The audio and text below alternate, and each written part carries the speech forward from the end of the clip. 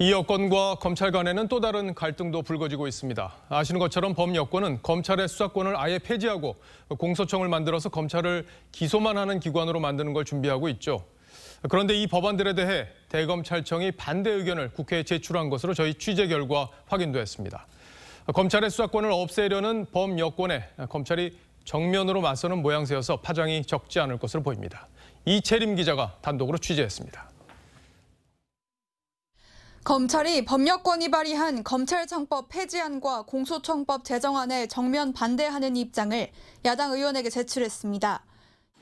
여권은 6대 범죄에 대한 수사권과 기소권 등 제한된 권한만 남은 검찰청마저 아예 폐지하고 공소청을 신설해 기소권과 공소유지권만 남기려 하고 있습니다. 제도로서 수사와 기소를 분리하여 상호 견제될 수 있게 해야 합니다. 대검찰청은 검찰 폐지가 헌법에 위배된다고 밝혔습니다.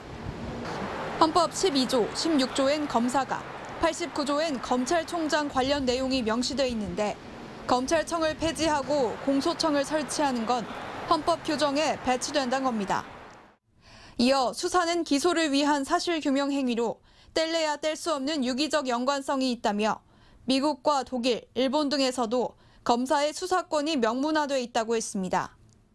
그 재판의 준비 과정의 수사와 또 법정 그 재판 활동이 어, 유기적으로 일체가 되어야만 어, 가능한 것입니다. 추윤 갈등 이후 검찰과 갈등 관리에 나섰던 정부 역시 검찰청 폐지에 대해서는 속도 조절이 필요하다는 입장입니다. 하지만 여권에선 윤 전 총장에 이어 조남관 총장 대행까지 교체해야 한다는 주장이 나오는 등 검찰에 대한 불만이 커지고 있습니다. TV조선 이채리입니다.